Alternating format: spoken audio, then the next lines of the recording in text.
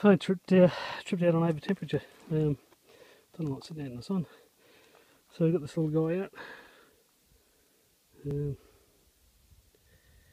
a bit. And uh, we shall continue on.